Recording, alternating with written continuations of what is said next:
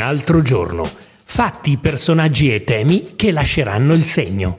Con Marcella Cocchi. 5 aprile 2023. Ci sono due casi che incrociano diversi temi secondo me interessanti.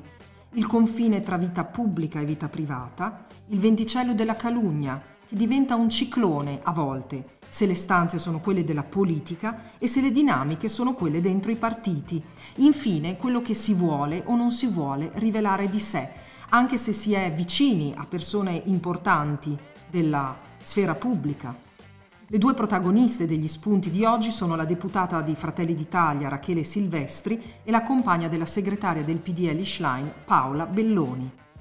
Benvenuti alla nuova puntata di Un altro giorno. Io sono Marcella Cocchi e oggi ospiteremo tre interventi di Paola Tavella, Paola Concia e Flavia Perina, ma andiamo con ordine. Intanto il primo fatto. In una lettera al Corriere della Sera, la deputata di Fratelli d'Italia Rachele Silvestri, ex M5S, scoperchia il vaso di Pandora dei veleni delle voci su di lei e su un politico dello stesso partito. Circa un mese fa una persona amica mi racconta che gira la voce che il mio bambino non sarebbe figlio del mio compagno, ma di un politico molto influente di Fratelli d'Italia, a sua volta sposata, racconta. Mio figlio sarebbe quindi nato da una relazione clandestina grazie alla quale io avrei anche ottenuto la mia candidatura. Riuscite a immaginare come mi sono sentita? Non bisogna essere una donna per capire la violenza, l'umiliazione. La particolarità è che la deputata ha deciso di far fare il test del DNA per provare pubblicamente che il figlio è davvero figlio del suo compagno. Allora qui sorge una prima domanda. Come si può arrivare a tanto? Perché una donna, una politica, arriva al punto di usare lei stessa dati privati per contrastare una violazione estrema della privacy? che tra l'altro va al di là della veridicità o falsità di quanto è chiacchierato. In realtà la risposta arriva proprio dalla sua lettera. Leggo.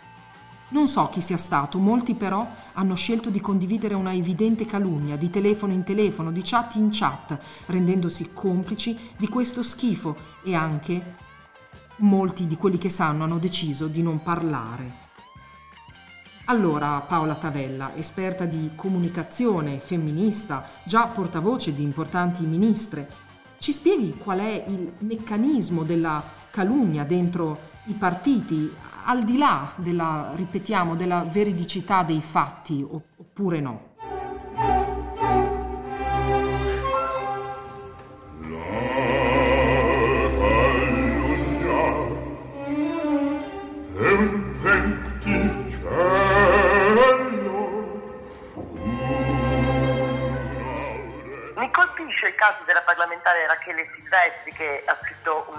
Corriere della Sera per difendersi dalle calunnie, per difendere suo figlio, delle calunnie che circondano lei e la sua famiglia, cioè l'accusa, eh, la maldicenza eh, sul fatto che il bambino non sarebbe, non sarebbe del, del, di suo padre, non sarebbe del suo compagno, perché ci sono dei partiti ehm, assomigliano più a delle corti che a dei partiti, e sono quelli in cui eh, il leader o la leader sono un po' dei sovrani, hanno una personalità eh, molto molto forte e un potere molto molto grande. Allora, in quei casi eh, è difficile vedere delle sfide di potere, degli scontri di potere aperti eh, e dire, in cui si combatte all'arma bianca. Ci sono eh, molto spesso gli altri metodi, appunto la calunnia, l'avvelenamento, l'avvolgimento, eh, la congiura mi pare che Rachele Silvestri sia incappata in una vicenda di questo genere.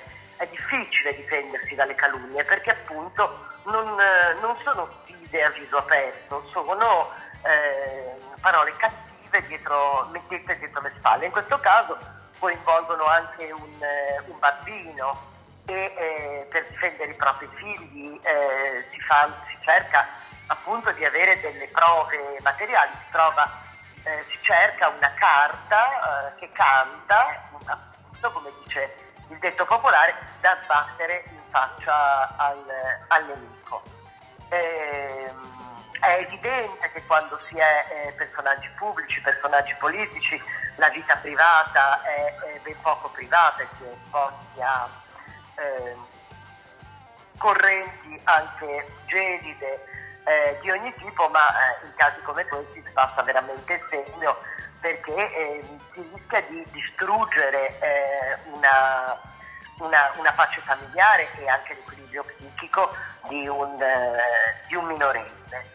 Eh, queste cose succedono più frequentemente alle donne che agli uomini perché la cultura in questo paese eh, deve cambiare, deve ripulirsi dalla, dalla misoginia che è ancora, ancora tanta e eh, da questo punto di vista tutti dovrebbero imparare, uomini e donne, a essere più continenti eh, e a tenersi la maldicenza e eh, i sistematici attacchi alla vita privata eh, per sé.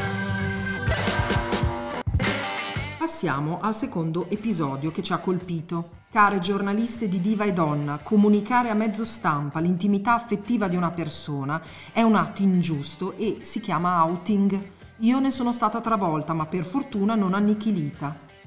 Questo scrive sul suo profilo Instagram Paola Belloni, la compagna di Ellie Schlein, in merito alla pubblicazione sul settimanale della foto che la ritrae insieme alla segretaria del PD. Il lungo post comincia con una citazione della leader Dem, non mi hanno vista arrivare, e quindi hanno tirato fuori teleobiettivi, ma il punto è che la compagna della segretaria del PD ritiene di essere stata offesa nella sua vita privata, ma soprattutto dice che lei, a differenza della Schlein, che ha fatto delle battaglie LGBTQ un punto politico importante, lei, dicevo, ha il diritto di non essere esposta come la Schlein, che è una politica eh, di primo piano. Infatti a questo proposito Belloni scrive che il coming out è una scelta personale. Ha ragione? Su questo ascoltiamo l'esperienza di Paola Concia, che ora coordina il comitato organizzativo di Didacta, ma è stata parlamentare del PD e soprattutto la prima ad essersi sposata in carica con una omosessuale come lei che si chiama Riccarda ed è appunto sua sposa dal 2011. Concia. Eh, premesso che eh, io sono felice che che una donna che ama un'altra donna è diventata segretaria del, del Partito Democratico. Ellie Klein è stata più fortunata di me, anch'io eh, dieci anni fa facevo le sue stesse battaglie in Parlamento e nel Paese, e però il mio partito eh, non mi ha premiato, anzi insomma, io sono stata fatta fuori dal Parlamento per queste battaglie, quindi mi fa piacere che il Partito Democratico sia cresciuto. Eh, Detto ciò, eh, anche a me è capitato quello che è capitato a Schlein e a Paola, la sua compagna, e cioè io e Riccarda, eh, io siccome ero molto esposta pubblicamente, anche Riccarda di conseguenza quando veniva in Italia eh, è capitato che ci hanno fatto mille volte le fotografie ci sta, diciamo che, che, ci sta, ma non soltanto perché eh, eh, amiamo un'altra donna, è perché un personaggio pubblico eh, è chiaro che eh, è esposta la sua vita privata in qualche modo, ma anche in Germania succede, noi abbiamo avuto un vice cancelliere ehm, eh, Vestavelle che, che, aveva un compagno, era sposato e veniva fotografato con il suo compagno, quindi non succede solo in Italia. Detto ciò, noi eh, abbiamo anche vissuto alla luce del sole, nel senso che non l'abbiamo fatta apposta. Se fossimo stata una coppia eterosessuale io avevo un compagno e era il compagno che dava la concia.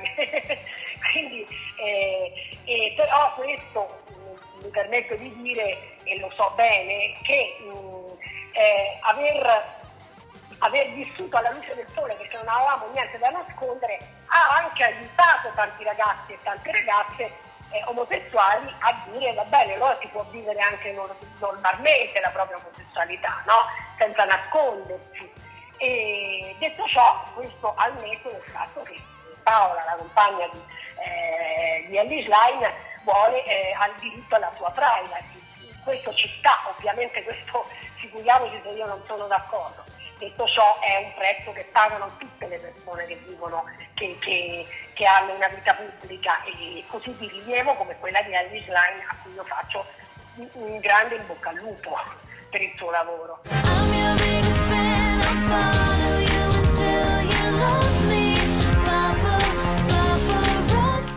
Infine, anche per provare a tirare le somme di questi due episodi che, come si diceva all'inizio, interrogano su cosa è pubblico e cosa è privato, cosa è semplice gossip e cosa calunnia, ascoltiamo che ne pensa l'ex politica ma anche scrittrice e giornalista Flavia Perina. Flavia Perina, eh, che cosa lega eh, il caso della compagna della Schlein e della deputata Silvestri? Ma il caso di Eli Schlein, eh, della compagna di Eli Schlein e dell'onorevole Rachele Silvestri, secondo me sono legati forse a un po' di fragilità femminile, perché è per me abbastanza ovvio che donne che scelgono la politica o donne che scelgono di farsi compagna di leader di partiti politici molto importanti devono avere le spalle larghe, eh, un certo tipo di attenzione della stampa e persino una certa strategia del gossip. In Italia sono, un, non soltanto in Italia, un dato ordinario da moltissimi anni.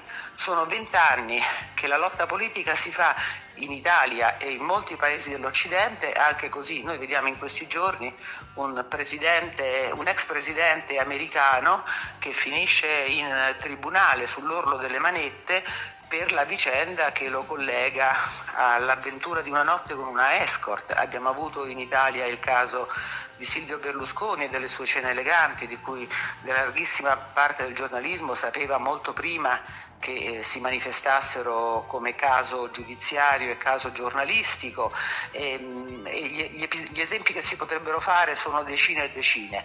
E la politica, in politica eh, bisogna farsi le spalle larghe perché purtroppo queste modalità eh, di conflitto politico per un verso e di attenzionamento dell'opinione pubblica per un altro verso sono eh, nell'ordinario. Non si, pensare, eh, non si può pensare di uscire da quel tipo di riflettori o di stare lontano da quei tipi di riflettori. Detto questo, soprattutto nel caso di eh, Rachele Silvestri, lei ha fatto cenno a organi di stampa che avrebbero rivelato questo pettegolezzo eh, e quindi diciamo, ha scritto nelle sue intenzioni per porre fine fine a questo pettegolezzo prima che, prima che tracimasse. E probabilmente eh, la componente, c'è anche una componente differente, e, e cioè c'è una vecchia una, una, vecchia tentazione della politica ostile alla destra di metterle in discussione i valori che propaganda dicendo sì voi avete pubblici, eh, pubblici valori, pubblici, pubbliche virtù e eh, vizi privati, non siete coerenti con quello che dite, parlate di patria, di Dio, di famiglia, però poi nel privato eh, siete tutti o divorziati o avete avventure o che altro.